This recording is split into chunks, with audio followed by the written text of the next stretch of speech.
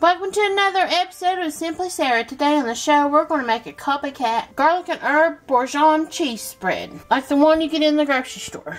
In a bowl, I have got two 8 ounce packages of cream cheese, softened at room temperature, one cup of butter, softened at room temperature, which is two sticks, one fourth teaspoon of some dried thyme, a half a teaspoon of ground onion powder, a half a teaspoon of ground black pepper, a half a teaspoon of dried marjoram, half a teaspoon of dried basil, a half a teaspoon of some dried chives, one teaspoon of dried dillweed, one teaspoon of garlic powder, one teaspoon of salt, and two teaspoons of some dried parsley. Actually added another teaspoon of garlic powder. So that's two teaspoons of garlic powder since this is garlic and herb. And we're just going to mix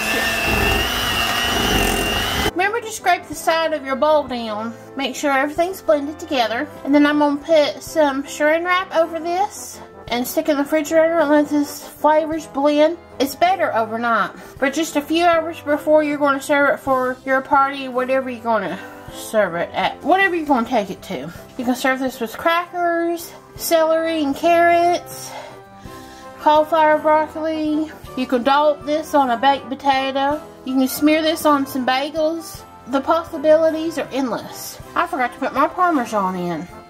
You need 1 4th cup of shredded Parmesan cheese.